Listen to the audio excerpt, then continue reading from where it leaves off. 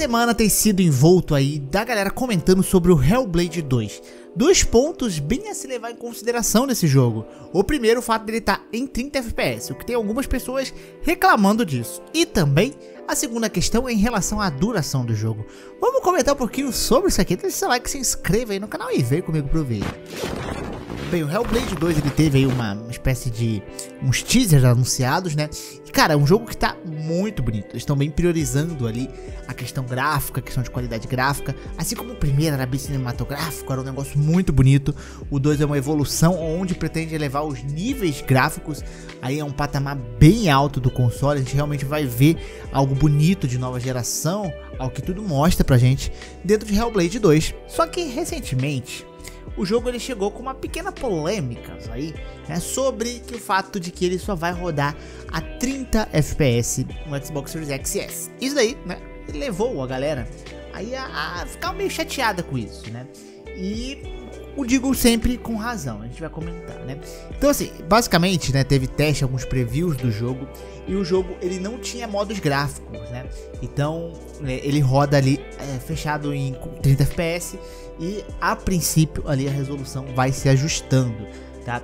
E entretanto, né, ele pode rodar ao que mostra aqui acima disso nos PCs. Então no PC não tem essa trava, apenas no console, né? Isso daí é algo que vem cercando de polêmica a Microsoft, até de certa forma, né? Redfall foi a mesma coisa, Starfield a mesma coisa, e agora o Hellblade. Não sei como é que vai ser a questão do Avowed, não sei se o Indiana Jones, esses jogos também vão acontecer a mesma coisa, né? mas está acontecendo muito isso com jogos com os consoles do Xbox, né? E a gente tem em contrapartida ali, né, que é a concorrente é a Sony, embora a gente tenha alguns modos aí de desempenho que não estão muito bom, como foi do Final Fantasy, que tinha problemas de textura, ainda assim, a grande, pelo menos os títulos que eu consigo me lembrar, que eu joguei recente da Sony, exclusivos, eles têm todos os modos 60 FPS. Me corrijam aí se teve algum que chegou locado a 30. Mas o Ronin chegou, beleza? Não tem tantos gráficos, mas o Final Fantasy chegou, né? Embora dos problemas de textura. O Horizon, que é muito bonito, ele tem. Então, assim, a maioria dos lançamentos que eu tenho visto da Sony até então, eles têm rodado a 60 FPS, se você quiser assim então desbloquear essa opção, né? Mas o do Xbox isso não tá rolando por enquanto, né? A gente viu o Starfield tá vendo isso se repetir agora no Hellblade, né? A princípio, a, a, o que eles dizem, né, é porque fica mais cinematográfico, a ideia é mais cinematográfico, assim como falaram ali, né, algo semelhante no Starfield, o que para mim não cola muito, sinceramente, galera, pelo fato de que por que, que no PC então é desbloqueado? Porque senão era pra ser também no PC locado. Se você quer um modo cinematográfico, por que a galera do PC não tem a opção de modo cinematográfico? Não faz muito sentido, senão seria tudo bloqueado. Ah, mas mods podem desbloquear. Tá, mas se você for pensar no que o mod pode fazer, você vai lançar qualquer coisa no seu jogo que os mods faz qualquer coisa. Então assim, me parece desculpa. Né? E assim, é, uma coisa é o seguinte: é o jogo deixar de ser bom por ter 30 FPS. Se o jogo for bom, os 30 FPS não é empecilho para deixar você se divertir com o jogo. Né? Isso aqui é algo que eu sempre tento comentar aqui. Só que a gente está numa geração que uma das principais coisas apresentadas, além do SSD, era o 60 FPS. É, foi uma coisa vendida de geração. A gente não tem uma, um salto gráfico essa geração, porque a gente já tá chegando em níveis muito bons de gráficos. E o que era para diferenciar agora era essa questão dos 30 e 60 FPS, o que não tá acontecendo. Então, assim, é algo que é justo reclamar. Né? Isso não vai diminuir a sua diversão com o jogo de, de maneira nenhuma, né? mas é algo que deve ser reclamado. Né? Eu acho que o público tem que reclamar disso com certeza, né? Que é para a empresa melhorar ou lançar futuros patches aí, né? E para os próximos jogos, novamente, cara, eles ficarem ligados, porque o Starfield a galera reclamou, agora reclama de novo. O Dragon's Dogma, que já é multiplataforma, a galera também reclamou, né? É, e a galera tá vendo essa geração não tancar os negócios, né? Mas eu, eu acho meio esquisito. Eu não sei se o Series S segura de alguma forma isso. Porque nos da Sony a gente tá tendo jogos com gráficos compatíveis, de certa forma, com o um pequeno salto que essa geração teve, que não é, é pouco. Conseguindo fazer um modo performance. Os seus jogos exclusivos, pelo menos, né? E é estranho a Microsoft não conseguir fazer, sendo que o Series X é mais potente. Então, é o que deve ser reclamado. Porque eu vi muita gente, ao invés de, pô, reclamar, querer jogar um negócio na concorrente. Tipo assim, ah, mas se fosse a Sony não iam reclamar se fosse isso. É, mas tal tá, jogo X se sair assim, não iam reclamar. Mano, eu não quero saber se a, o cara X ou o jornalista Y ou o site X vai reclamar ou não. Eu acho que você, como consumidor, você tem que pedir, né?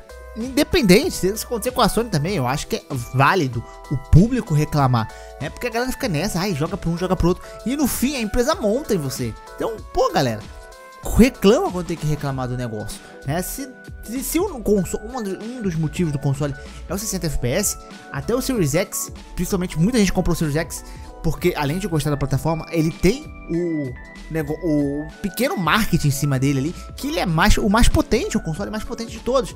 Ele não tá entregando isso. Então eu acho que é uma reclamação super válida, independente de que esse jogo pareça ter uma qualidade absurda ou não. Eu não duvido que ele vai ser um bom jogo como o primeiro.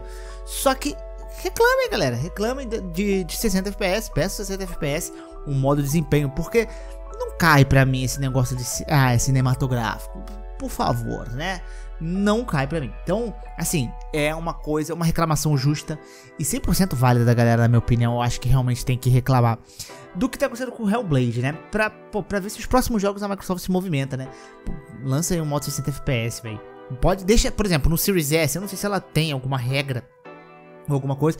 Mas beleza, no Series S você deixar 30, que o console é mais fraco, quem comprou o Series S entende que a proposta do console é realmente ser fraco. Você vai ter gráficos downgrades ali, bizonho, vai ter, você pagou muito barato esse console. Hoje em dia nem tanto, mas você pagou barato, então é, é, é mais justificável, mas o Series X deveria acompanhar um pouco afastado, talvez, pelo menos essa questão de, de FPS em relação ao Series S, né?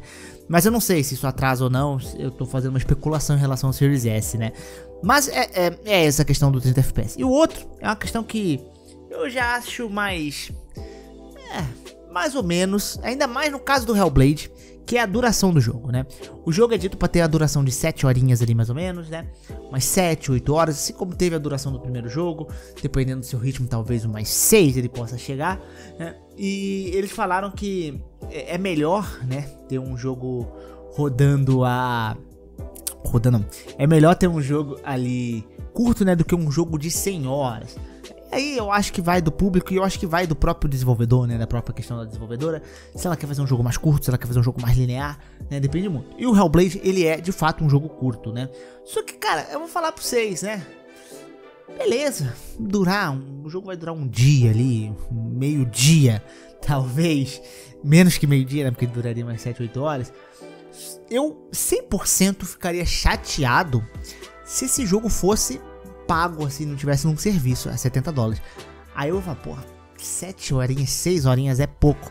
Eu acho que um jogo durar 10, 11, 12 horinhas ali, eu acho que é um tamanho ideal para um jogo de menor escopo, assim, mais linear, né? Talvez, né? Eu acho que jogos não precisam durar 20, 30, 40 horas. Quer dizer, tem jogos e jogos, né? Tem jogos que é legal durar isso, que vai fazer sentido durar isso. Jogos mais lineares, tipo um Hellblade, não faz sentido ele durar 20 horas, que ele pode ficar chato, né? Porque tem aquele jogo que ele jogos lineares, eles têm, têm essa tendência que, pô, eles têm meio que uma hora para acabar, senão ele pode ficar meio monótono dependendo de como a empresa fazer isso, né? Isso caixa no Hellblade, só que o Hellblade ele vai estar disponível no Game Pass, né? Então, talvez quem possa se incomodar com isso é quem compre o jogo por fora da loja, o que é bem difícil aqui no Brasil principalmente. É, então, assim, é algo que não é um fator que me incomoda tanto. Não é um tempo ruim, 7, 8 horas, para um jogo que você tecnicamente você não vai pagar, né? Você vai pegar no negócio. Eu acho que se fosse pago, com certeza 70 dólares esse jogo seria uma reclamação, né? Talvez, pô, você vai lançar um jogo de 6 horas, cobre mais barato. Né? Mas tá num serviço. É, então eu acho que o tempo dele tá ideal. O tempo do primeiro jogo, para mim, ele tem um ritmo bom do tempo que ele dura. Né? Então eu acho que o segundo jogo vai ser esse mesmo ritmo. Então, pra mim, tá de boa. Eu não me incomodo em nenhum momento com, com a duração desse jogo. Nesse cenário específico, que a gente não paga tecnicamente por ele, né? Então, é. Beleza né? Se foi assim que os desenvolvedores quiseram, né? Só não seria justo se fosse um jogo AAA full price, ali, 70 dólares, pra você ter uma duração muito curtinha de quase um Resident Evil 3, por exemplo, que foi uma das críticas na época, né? Então, basicamente é isso daí, a minha opinião sobre o tamanho do Hellblade. Mas, complicada essa questão de 30 FPS do jogo. E vamos ver, né? Vamos ver no futuro aí que, que se a Microsoft vai continuar com essa tendência para os seus jogos.